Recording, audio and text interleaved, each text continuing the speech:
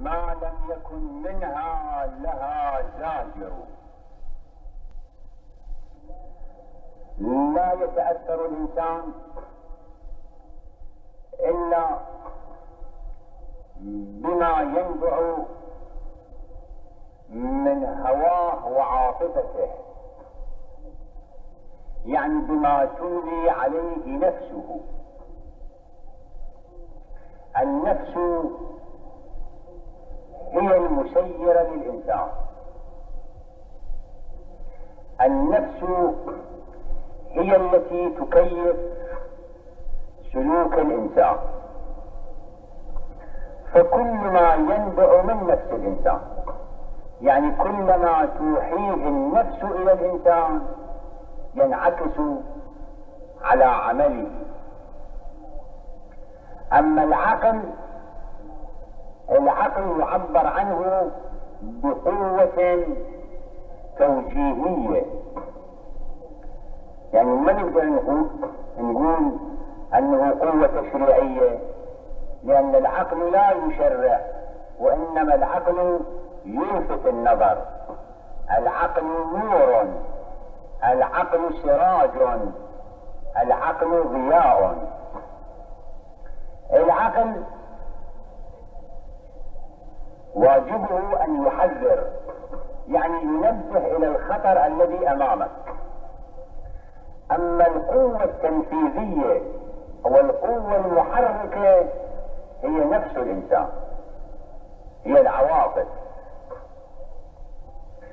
فإيحاء العقل وتوجيه العقل إذا وقع موقع القبول من النفس يتحقق. أما إذا لم يقع موقع القبول من النفس يبقى مجرد فكرة. قد تؤمن بها ولكن لا تنفذها. كما نجد كثيرا من الناس يؤمنون ولا يعملون يعتقدون ويخالفون معتقدهم. ليش؟ لأن ما أوحى به العقل لم يقع موقع القبول من النفس عندهم وهي نفس واحدة. في الإنسان نفس واحدة. لكن هل نفس هذه يمكن أن تتطور وتتغير؟ ثلاث مراحل. للنفس البشرية. مرحلتها الأولى وهي المرحلة البدائية. المعبر عنها بالنفس الأمارة.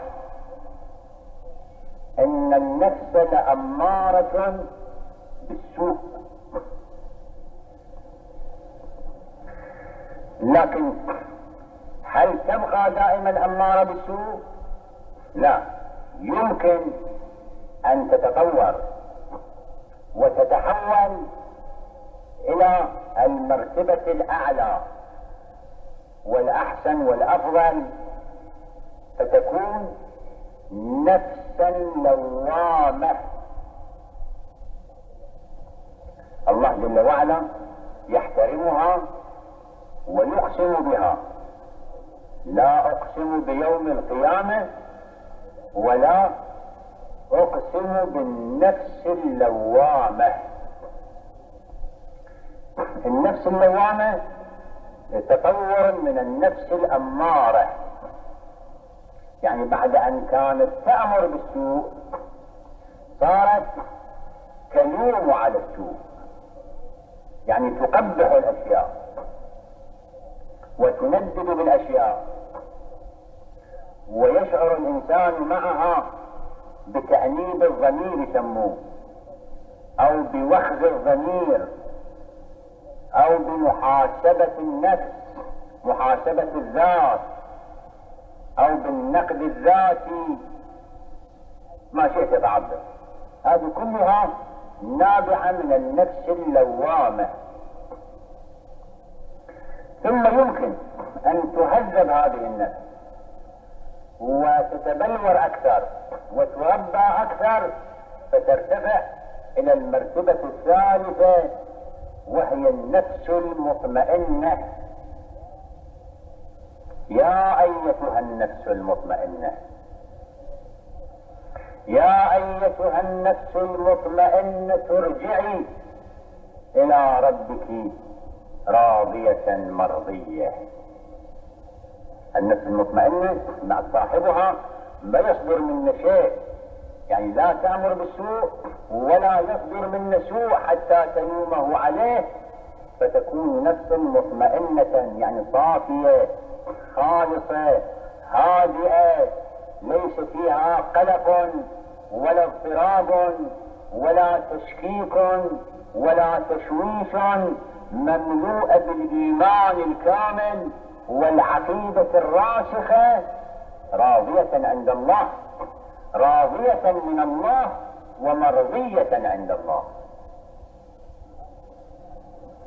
هذه مرتبة عليا. هذه يصل إليها الأولياء المجاهدون. لكن إحنا الناس العاديين على الأقل يجب أن نحصل على النفس اللوامة. إذا حصلنا على النفس اللوامة نصل إلى كثير من الخير ونبتعد عن كثير من الشر.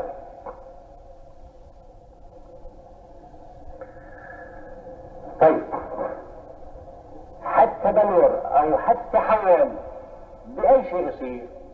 وكيف تتحول النفس من أمارة بالسوء إلى لوامة على السوء ثم تتحول إلى نفس مطمئنة. هذا ترى شيء مو سهل هذا الشيء يحتاج إلى جهد وجهاد. مثل ما ذكرت لك أن النبي يعبر عنه بالجهاد الأكبر. هذا طريقه يجب أن يبدأ من بداية الشباب من بداية البلوغ ويسير الإنسان في طريق تهذيب هذه النفس ربما ينتهي إلى النفس اللوامة في الكهولة وفي الشيخوخة وعلى كل حال يصل لكن ليس بسرعة. لأن مراحل أيضا التهذيب مراحل. المرحلة الأولى هو الالتزام بالشكليات على الأقل بالظواهر. الظواهر إلها قيمة. الظواهر لها فائدة. من طريق الظاهر يمكن تصل إلى الواقع. أما إذا تريد رأسا تصل إلى الواقع بدون الالتزام بالظاهر بحجة أنه إذا شيء أنا ما أعتقد به. ليش ألتزم به خلي أؤمن بعدين أعمل. نقول لا. طريق الإيمان هو العمل أولا. حتى ولو لم تؤمن. حتى ولو لم تعتقد. لكن جرب. مارس. طبق حتى تعرف. أما تنتظر إلى أن تصير عندك العقيدة الكاملة والإيمان الكامل ثم تعمل هذا ربما ينتهي الأمر وأنت ما محصل لا عقيدة ولا عمل. ابدأ بالعمل. في ضرك في ضرك إذا بدأت بالعمل. رسول الله صلى الله عليه وآله وسلم أول ما بعث لم يطلب من الناس العقيدة والإيمان الراسخ بلا إله إلا الله. وإنما قال لهم قولوا لا إله إلا الله. الظواهر وخروا الأصنام هذه انبذوها وإظهروا كلمة التوحيد.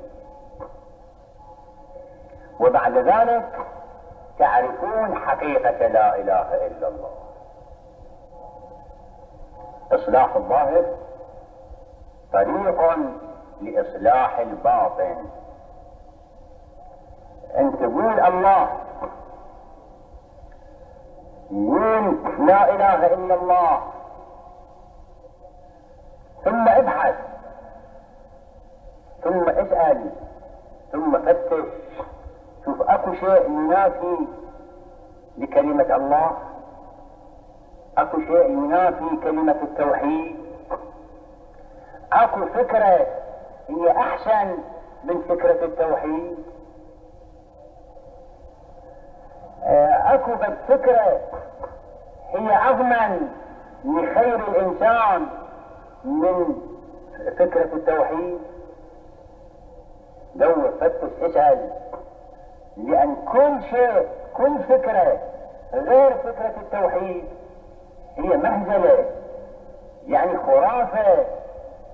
يعني سخف سواء الشرك من غير التوحيد شنو؟ غير التوحيد معكم إلا اثنين. أما الشرك وأما الإلحاد. وكلاهما خرافة.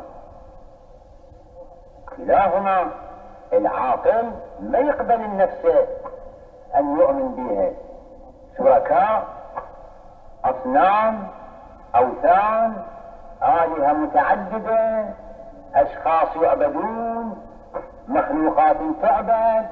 هذه خرافة. لرب يقول الثعلبان برأسه ألا ذل من بالت عليه الثعالب؟ مر على ذلك الصنم وإذا ثعلب يجي رفع رجله وبال على الصنم.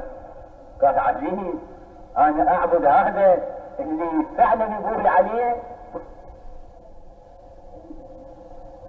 لرب يبول الثعلبان برأسه ألا ذل من بالت عليه الثعالب. هذا من جهة الأصنام. أما الأوثان يعني الأشخاص الذين يعبدون أو عبدوا من قبيل فرعون وغير فرعون الذين ادعوا الربوبية أو من يدعى فيهم الألوهية. أيضا خرافة سخيفة. إنسان ضعيف عاجز حقير.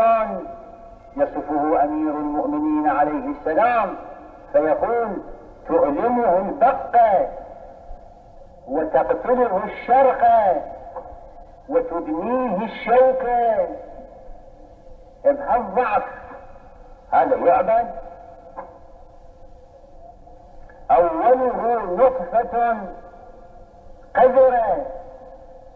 وآخره جيفة نتنة وهو بين النطفة والجيفة يحمل القاذورات.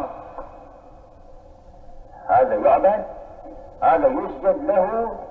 هذا يعتبر إله. فإذا الشرك بكل أنواعه سخف خرافة وأما الإلحاد يعني لا إله يعني لا خالق يعني لا رب هذه أقبح خرافة بعد. هذا معنى لو تصب في قالب آخر يضحك منه حتى المجانين لأن كلمة لا إله أو ما أكو الله هذا تجده أو تجد هذه الحلقة هذه تجدها من طريق الإيمان بالله سبحانه وتعالى. أن هل عدم المحض الذي كان مسبوق به الكون. الكون كله كان عدم ماكو شيء إلى وجود سرمدي. المادة كانت مسبوقة بالعدم ودليل سبقها بالعدم انتهاؤها إلى العدم.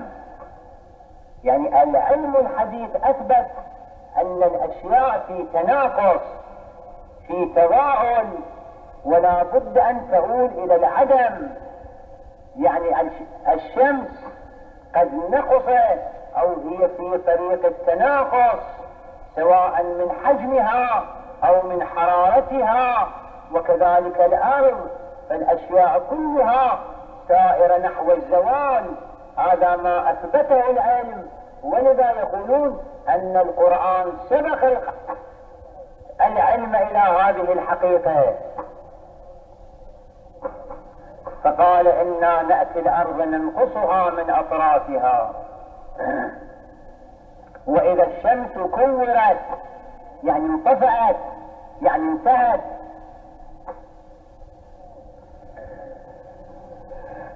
فكل شيء له نهاية لا بد أن تكون له بداية أيضا. ومعنى بداية يعني ما كان موجود فوجد. فإذا من أين وجد؟ وجود من لا وجود مستحيل. خرافة. ما يمكن أن يقبله العاقل.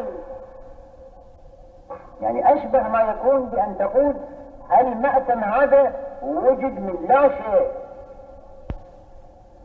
يعني لا مواد كان ولا أيدي عاملة كانت ولا حجر ولا خشب ولا حديد دفعة خرج. هل هناك عاقل يقبل؟ عينا. إذا نقول لا إله يعني أن وجود عن لا وجود وجود عن لا شيء. لكن إذا قلنا أن الوجود من موجود سرمدي من موجود أبدي يعني كان هناك موجود بالذات لم يكن معدوما. ولن يعدم أبدا. أزلي أبدي من هالموجود الذاتي وجدت كل الموجودات بالعرب. من هالسبب انطلقت الأسباب.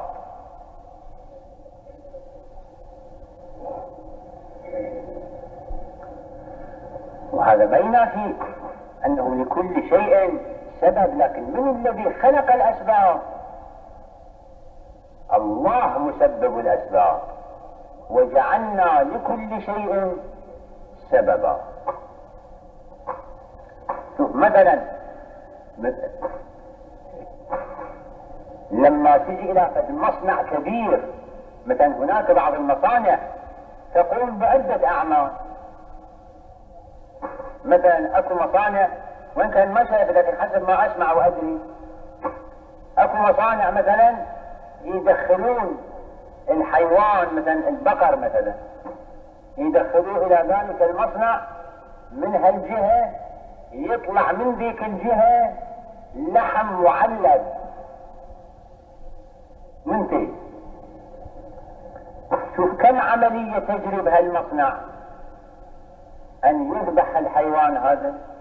ثم يسلخ ثم ينظف ثم ثم ثم يوضع في العلب ثم تلحم العلب تغطى بصورة صحية كذا يطلع من هناك علبة فيها لحم طازة. فصحيح أنه هالعلبة هذه علبة اللحم اللي بيدك الآن استلمتها من إيجاد من من صنع من؟ من صنع هالمصنع هذا. لكن الكلام المصنع اللي ينفع تقدر تقول أن المصنع ما حد سواه؟ وهالمصنع اللي قلت لك يطلع علبة اللحوم؟ مو بس يطلع علبة اللحوم يفرز كل الأشياء. يعني الجلد الجلود يفرزها من ناحية ثانية مدبغة صالحة للاستعمال. باقي الاجزاء يفرزها من الناحية الثالثة كأسمدة كأشياء أخرى العظام مثلا. فكل هالأعمال هذه يقوم بها هالمصنع هذا صحيح لكن السؤال المصنع من أين؟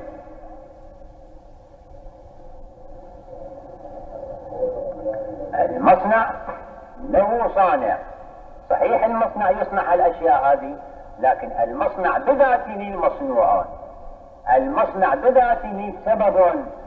هناك المهندس الكبير الذي صنع هذا المصنع وجعل فيه هذه الأسباب وهذه العوامل وهذه العلل وهذه الآلات فصارت تنتج هذه الأشياء.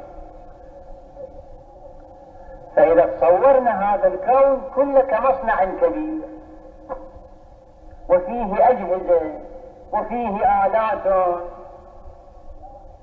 جهاز يصنع النبات جهاز يصنع المياه جهاز يصنع الأبخرة جهاز يصنع الحجر جهاز يوجد كل هالأشياء الذرات. هذا صحيح الكون كله مصنع. لكن يجب أن نتعدى حدود هالكون هالمصنع وننظر وراء هذا الكون. أنه من أين وجد هذا الكون؟ إحنا ما نقول الله جل وعلا هو بيده صنعك. لا. وإنما الذي صنعك هو مصنع الله. هو معمل الله.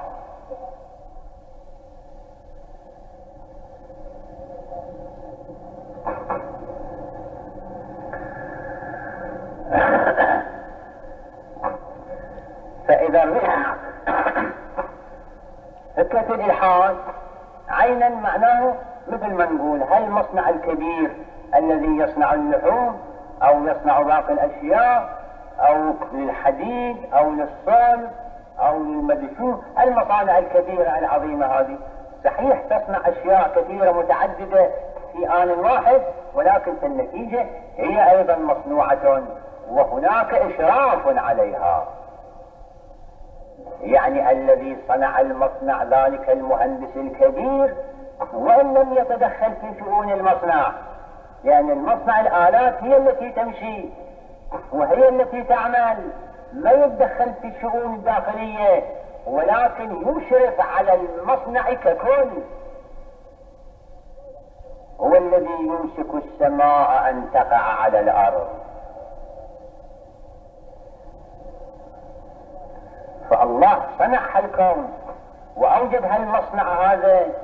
ما تركه ما لاح آه، راح اللف راسه ونام وقال خلاص لا مشرف عليه. كإشراف المهندس على المصنع الكبير.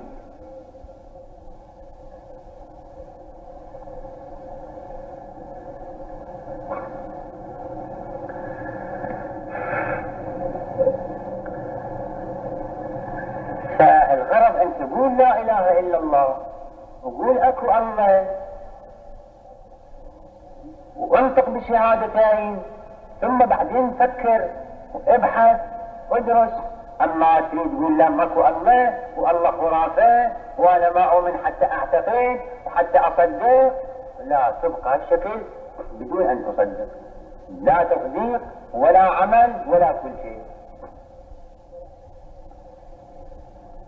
وهكذا بالنسبة إلى باقي العقائد بالنسبة إلى النبوة بالنسبة إلى النبي محمد صلى الله عليه وآله. أنت الآن دفعة فما تقدر تعتقد بنبوة محمد لأن ما شفت محمد ولا شفت جبرائيل ولا شفت لك فد ملك من الملائكة. لكن على كل حال أنت قول إيه؟ وبعدين تحقق قل أشهد أن محمدا رسول الله. بعد أن عرفت الله قول هذا رسول مال الله. لأن هذا الله اللي أنا عرفته الله عاقل بصير حكيم فاهم. هذا ما يصير أنه يخلق الإنسان هذا وما يوجهه. وما يخلي له في الدستور وفي النظام يمشي عليه؟ مع العلم أن الإنسان ما يقدر يدبر نفسه بنفسه في كل شيء. يحتاج إلى مرشد يحتاج إلى موجه. فهالخالق الحكيم العظيم ما يبخل على الإنسان بالتعليم والتوجيه؟ فلا بد أن يوجهه. شنو طريقة التوجيه أن يخلي له شريعة وقانون ونظام يمشي عليه. وهالنظام هذا يحتاج إلى من يبلغه للناس؟ وهذا المبلغ لابد أن يكون ثقة مع الاحترام مع ثقة الناس حتى يصدق قوله حتى يقتدى به. فمن هذا كله تقدر تعرف أن محمد رسول الله.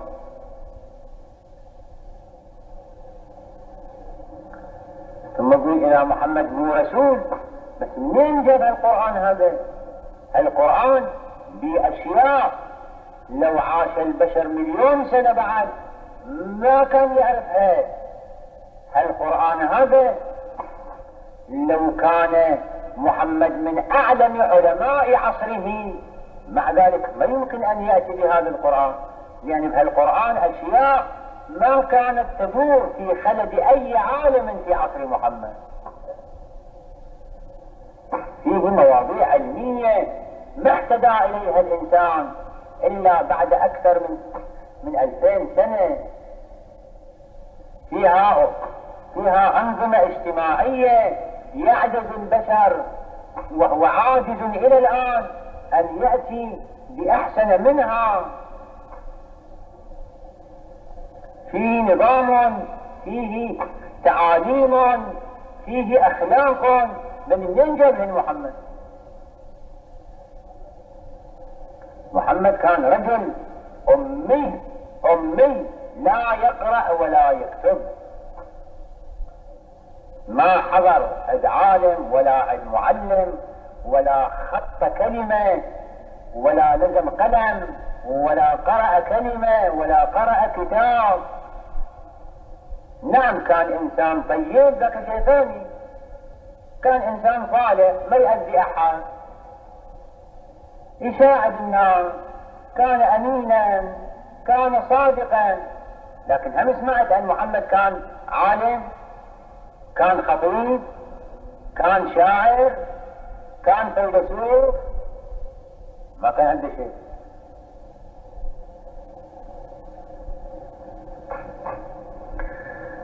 فالرجل الأمي يأتي بكتاب فيه من العلوم والمعارف ما يتحدى به علماء العالم. من يومه إلى يومنا هذا. بيش تفسر بيش تعلله؟ شو تقول؟ ما إلها تفسير إلا أنه صحيح. هذا إجاء الوحي من الله سبحانه وتعالى. العلوم هذه من وحي الله. الكتاب هذا كلام الله. تقول لا فسر بغير التفسير هذا. في وقت كان كل العالم يعتقد بأن مثلا أفرض آه الأرض مسطحة مثلا. وإذا القرآن يشير إلى كروية الأرض. في وقت بالنسبة إلى المرأة مثلا كل أمم العالم تعتبر المرأة يعني آه، في أحسن الحالات.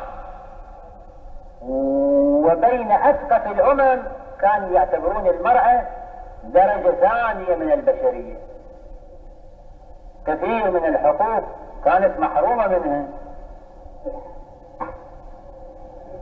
وإذا يجي محمد بكتاب يعلن المساواة في الحقوق والواجبات بين الرجل والمرأة. وهكذا.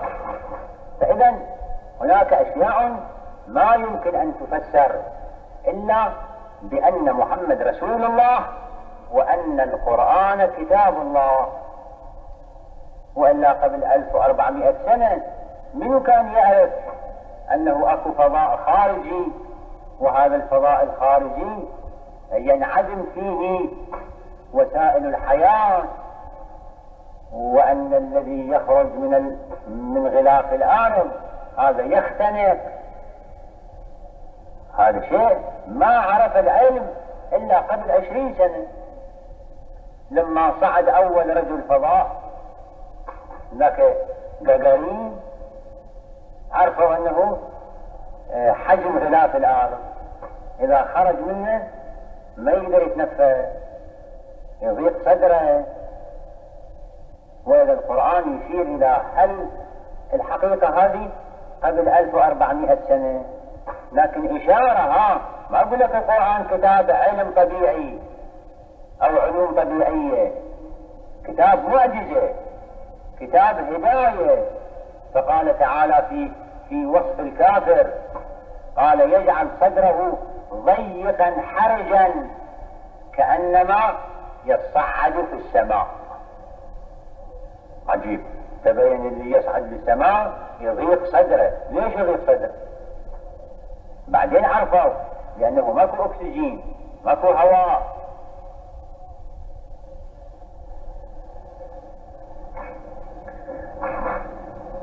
منين عرف محمد صلى الله عليه وآله أن أعجب جزء في الإنسان هو آه، طرف إبهامه أو طرف إصبعه؟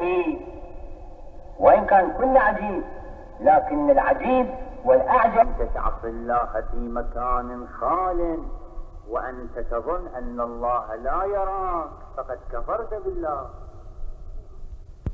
وإن عصيته في مكان خال وأنت تعلم أن الله يراك فقد جعلت الله أهون من الناس. لأنك تسترت من الناس ولم تتستر من الله. وهاي كلمة الله كريم. افرض يشوفني افرض مطلع علي. الله كريم. هذه الله كريم مش قاعدة. صحيح الله كريم. لكن في نفس الوقت الله شديد العقاب. في نفس الوقت ومن يتعدى حدود الله فأولئك هم الظالمون.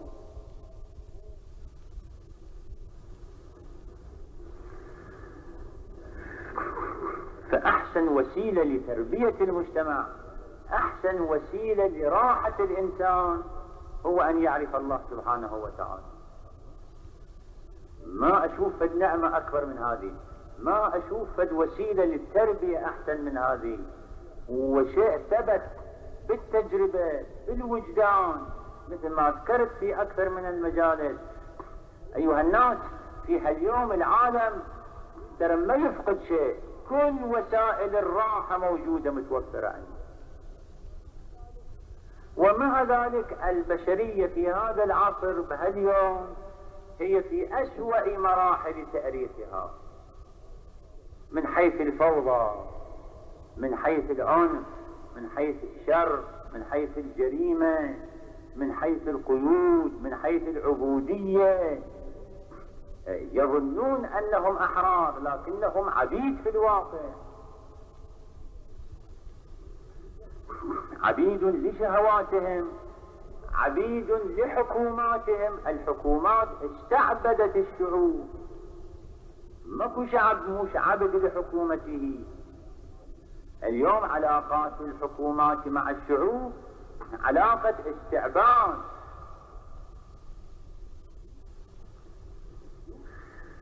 مسلوب الحرية الإنسان اليوم. أكو حرية. ما هي إلا ألفاظ وشعارات. وإلا أين الحرية؟ لا حرية كلام. لا حرية فكر. لا حرية صحافة. لا حرية آه، بيان. لا حرية عمل. يا حرية وين الحرية؟ لا حرية حركة وسكون. اليوم الحكم البوليسي في كل مكان. اليوم الشعوب مراقبة.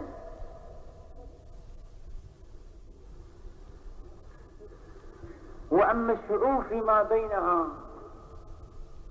الشعوب شنو فيما بينها؟ هل تعيش فيما بينها تعايشا سلميا؟ لا. وإنما تعايش عدائي تعايش انتهازي. شوف الأخ ينتهز الفرصة أن يدمر أخوه. الجار ينتهز الفرصة أن يوقع بجاره. في سبيل المادة ما يتورع الفرد عن كل شيء.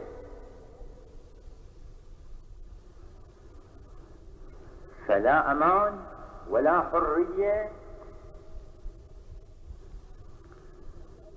فلك أن تسأل أنه شبينا إحنا اليوم؟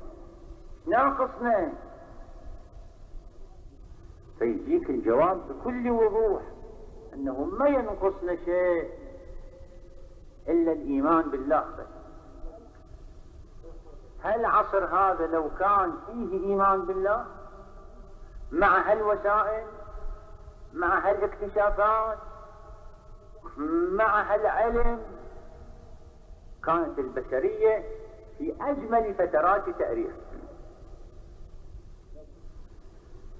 لو كنا نستخدم هالطاقات هذه في سبيل خير الناس لو كنا نستخدم هالخيرات التي الله جل وعلا من بها علينا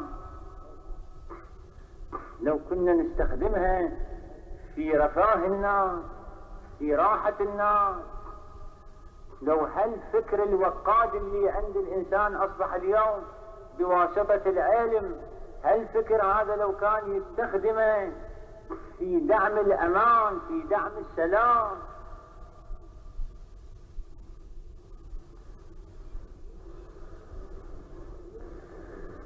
فاليوم العالم كامل من كل جهاته لا يشكو نقصا في شيء من الماديات وإنما نقصه في المعنويات.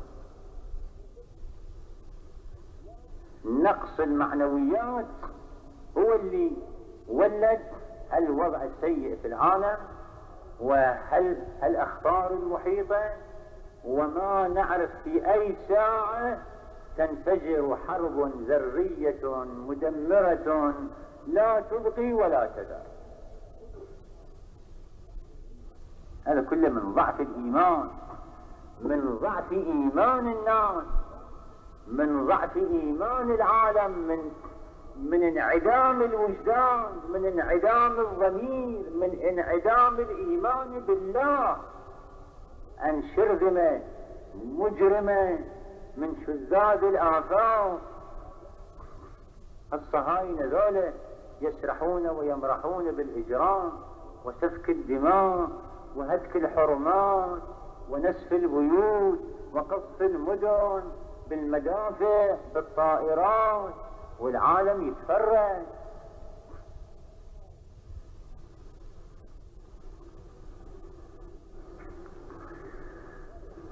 فالغرض هذا العيب. ما بين عيب إلا أنه نسينا الله. وما يمكن أن ننصلح إلا إذا ذكرنا الله. نسوا الله فأنساهم أنفسهم. ومن أعرض عن ذكري فإن له معيشة ضنكا.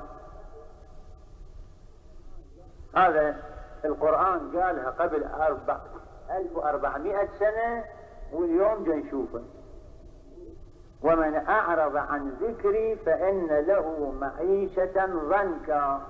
معيشة ضنك يعني شديدة. يعني مو مرتاح.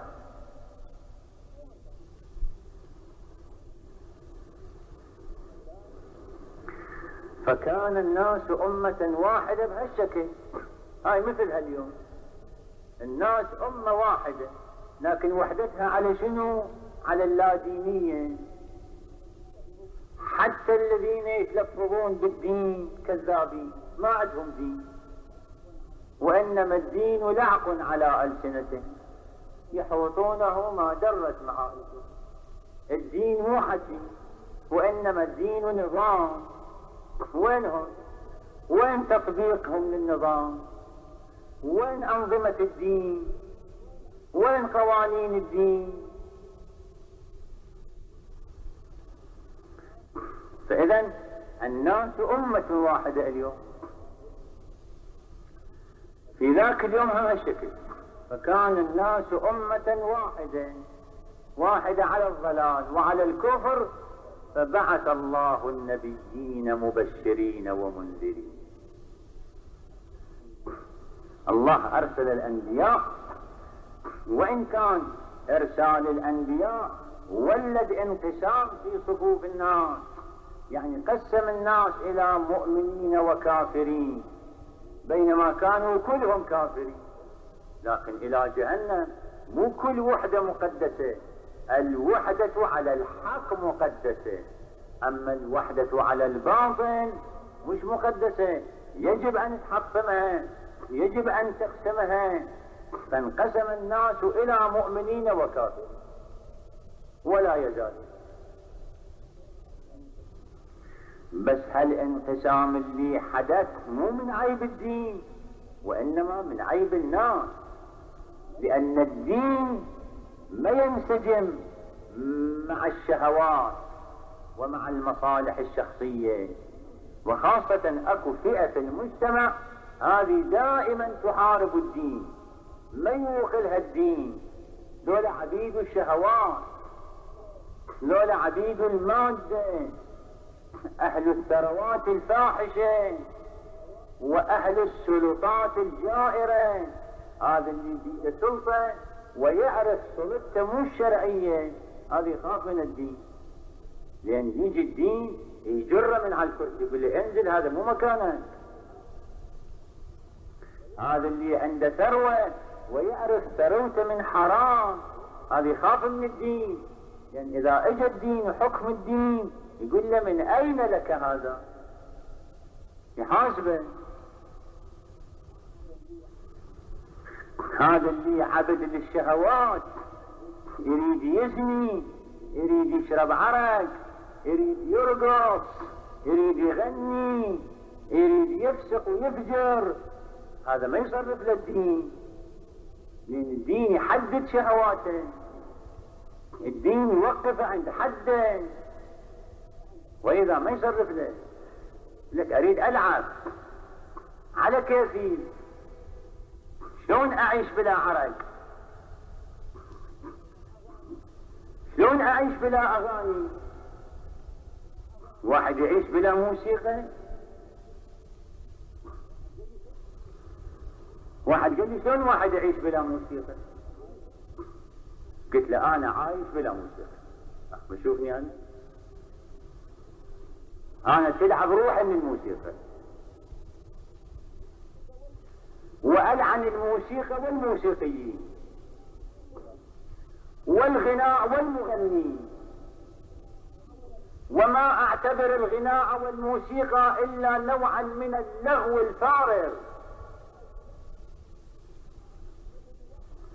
وما أحسب الوقت الذي يقضيه الإنسان للاستماع إلى الغناء غناء والموسيقات هذا الوقت خسران. لك على شنو تسمع.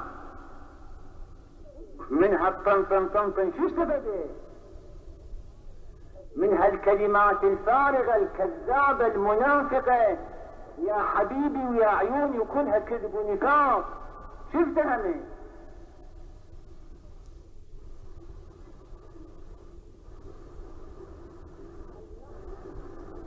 من هالنظر إلى جماعة من المخنثين المايعين اللي يرقصون ويغنون شو تعلمت؟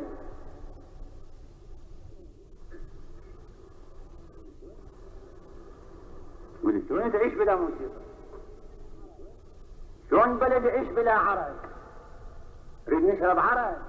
من تشرب قز القرص؟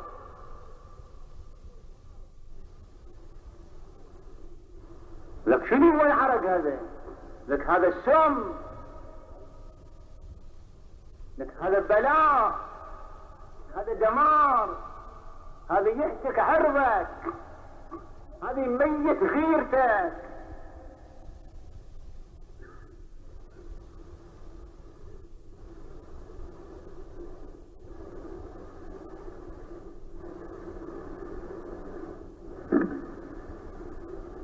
شلون بلد بلا بلا اكحاب شلون يصير ولايه بلا اكحاب شلون تعيش عجيب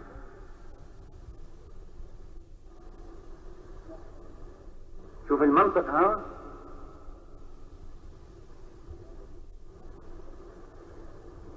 تعيش إذا حطمنا السدود المصطنعة.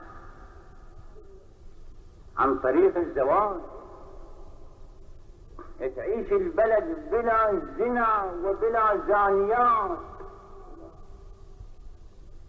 إذا جعلنا الزواج سهلا ميسورا تحت متناول يد أي إنسان. يخلص البلد من شرور الزنا. أما الآن صحيح بهالكيفية صحيح. الزواج بالنسبة للشاب بهالوضع اللي إحنا فيه من رابع المستحيلات.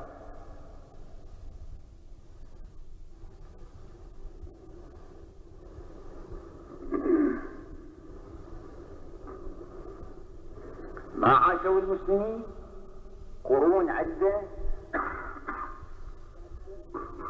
ما كانت المجتمعات الإسلامية اللي كانت تشمل قطعة واسعة من العالم.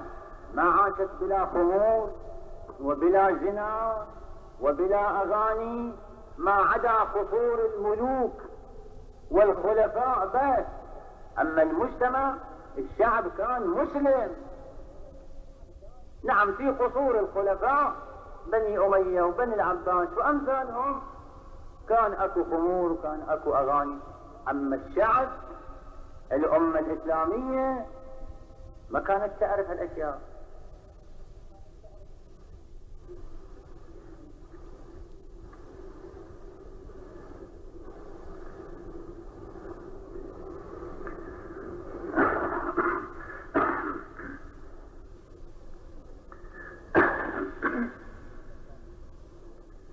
فبعث الله النبيين وانقسم الناس انقسموا إلى قسمين.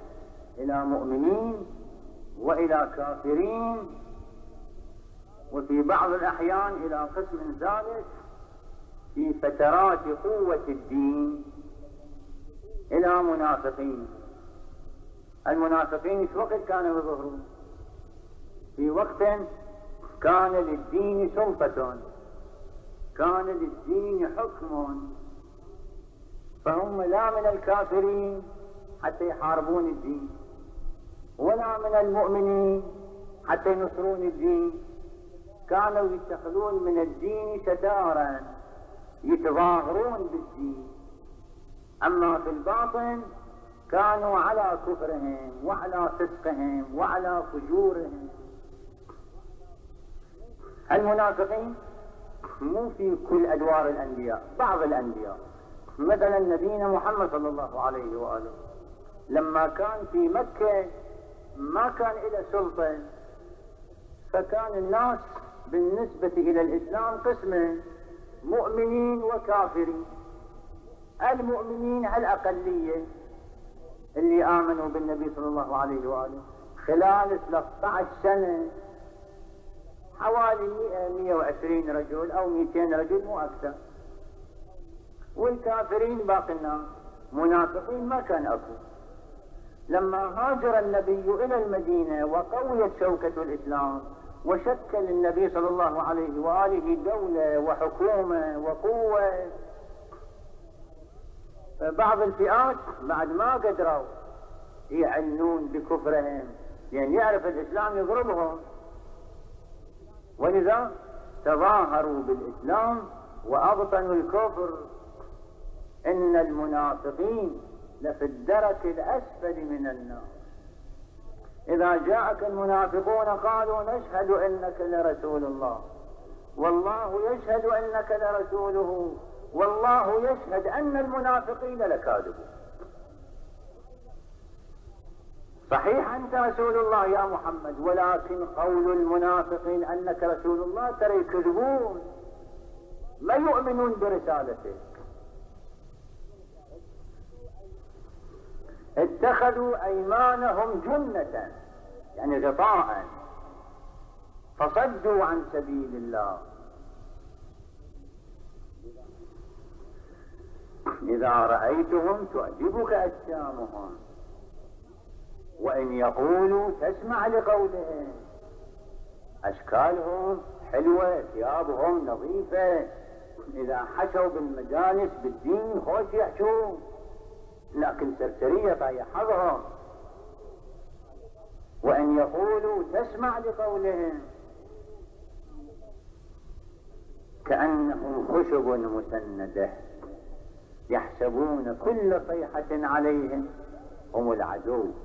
فاحذرهم. قاتلهم الله. أنا يؤفكون.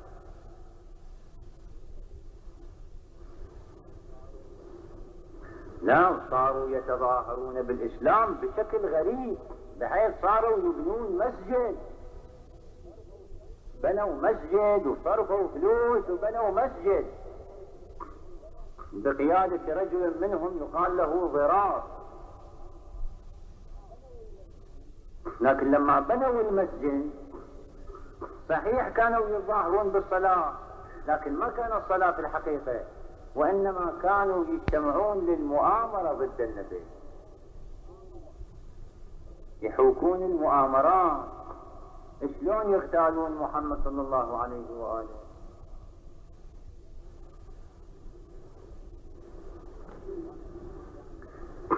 واحد منهم دعا النبي إلى وليمة وقد حفر بئرا في في دهليز داره حتى إذا دخل النبي ويمر على هالبئر مغطيها بالتراب فيسقط النبي ويموت. لكن الله جل وعلا أرشد نبيه إلى ذلك الطريق فتجنبه رسول الله.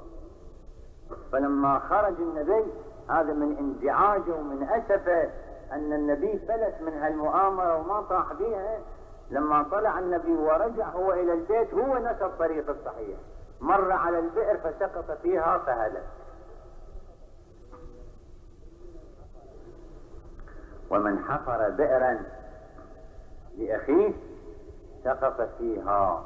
فالغرض بنوا مسجد وصاروا يجتمعون في ذاك المسجد فأمر الله نبيه أن يروح لهالمسجد هذا ويهدمه إلى الأساس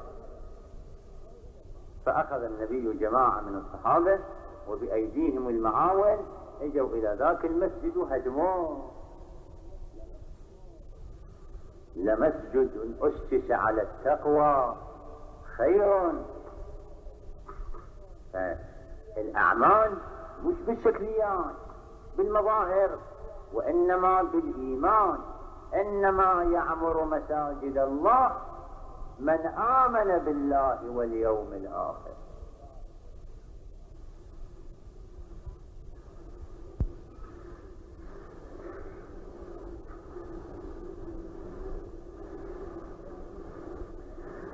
فاجوا الأنبياء أولهم طبعا هذا الحكي بعد آدم عليه السلام.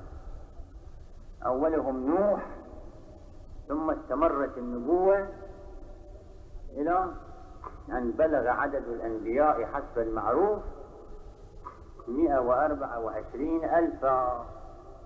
بعضهم نبوة عامة يعني لكل الناس وبعضهم نبوة خاصة. لأهل بلده أو لأهل منطقته. بعضهم كان نبيا على عشيرته. ولذا في كل زمان في كل عصر كان فيه عدة أنبياء عشرات الأنبياء. لكن الأنبياء العامين بالرسالة العامة ذول الخمسة. أولهم نوح ثم إبراهيم ثم موسى ثم عيسى ثم محمد صلى الله عليه وآله وسلم. وإن كان.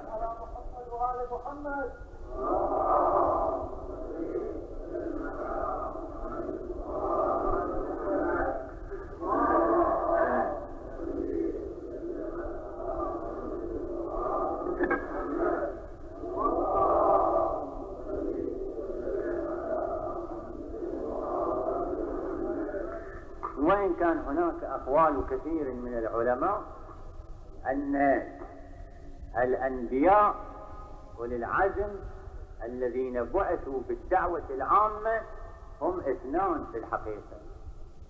يعني إبراهيم ومحمد صلى الله عليه وآله. أما نوح أما موسى أما عيسى فهؤلاء نبوتهم خاصة. كما في القرآن قال الله جل وعلا إنا أرسلنا نوحا إلى قومه. ما قال إلى الناس؟ وفي موسى. قال جل وعلا اذهبا إلى فرعون إنه طغى. فبعثه الله إلى فرعون. وبالنسبة إلى عيسى قال جل وعلا عن لسانه قال يا بني إسرائيل إني رسول الله إليكم. مصدقا لما بين يدي من التوراة ومبشرا برسول يأتي من بعد اسمه أحمد. فإذا نوح وموسى وعيسى نبوتهم خاصة أيضا مو عامة. أما إبراهيم قال جل وعلا في كتابه إني جاعلك للناس إماما. وإذ ابتلى إبراهيم ربه بكلمات فأتمهن قال إني جاعلك للناس إماما. قال ومن ذريتي؟ قال لا ينال عهدي الظالمين. فإبراهيم نبوته للناس. ونبينا محمد صلى الله عليه وآله وسلم إنا أرسلناك كافة للناس. فالنبوة العامة لاثنين ونبوة محمد صلى الله عليه وآله وسلم أعم وأشمل من نبوة إبراهيم. ليش؟ لأنها الخالدة لأنها الدائمة. نبوة إبراهيم صحيح كانت للناس جميعا لكن أي ناس الناس الذين في زمانه وفي عصره أما نبوة محمد ورسالة محمد للناس في عصره وللناس في كل عصر ومكان إلى آخر الدنيا. لأن لا نبوة بعد محمد صلى الله عليه وآله. ليش ختمت النبوة بمحمد؟ لأن ماكو حاجة بعد رسالة الإسلام ماكو حاجة إلى رسالة حتى يبعث نبي. النبي ليش الله يبعثه؟ النبي شنو شغلة؟ النبي رسول يحمل رسالة يحمل دعوة. فإذا كانت الدعوة موجودة وكافية وشافية وهي حية طرية جديدة في كل عصر وزمان. بعد على من النبي ما فرسالة الإسلام رسالة شاملة. يعني ما ما يأتي زمان على البشرية بحيث لا تكون الرسالة الإسلامية ملبية لحاجاته تلبي حاجات الناس دائما وأبدا. شلون؟ هذا يجي إن شاء الله آه، في أبحاث أخرى. فالغرض محمد هو آخر الأنبياء وخاتم الأنبياء ولكن الله ما خلى محمد وحده بما أنه خاتم الأنبياء وبما أن رسالته هي آخر رسالة سماوية خلالها دعم يعني خلى لمحمد استمرار. علي بن أبي طالب استمرار لمحمد. الحسن عليه السلام استمرار لمحمد. الحسين زين العابدين محمد الباقر جعفر الصادق 12 إمام معصوم واحد بعد الآخر كل فرد منهم كمحمد في كل خصائصه في كل صفاته ما عدا النبوة. وبهؤلاء كملت الرسالة من حيث التبليغ والتطبيق. وإلا من حيث التشريع كملت على يد محمد صلى الله عليه وآله. اليوم أكملت لكم دينكم. لكن من حيث التطبيق والتبليغ إلى العالم وبيان جزئيات الرسالة وأحكامها هذا صار بعهدة الأئمة سلام الله عليهم. ف 12 إمام كفوا كملوا ما خلوا نقطة. ولذا الآن تجد المذهب الشيعي غني بالأدلة والبراهين. تجد مذهب أهل البيت واسع لا يترك شاردة وواردة إلا وفيها نص وحكم. إذا مو من النبي من علي إذا مو من علي من الحسن إذا مو من الحسن من الحسين وهكذا الباقر الصادق الكاظم الرضا الجواد الهادي الحسن العسكري المهدي سلام الله عليه وبعد المهدي النواب نواب الإمام سلام الله عليه نواب الإمام المجتهدون العالم المجتهد هذا استمرار للإمام استمرار للنبي.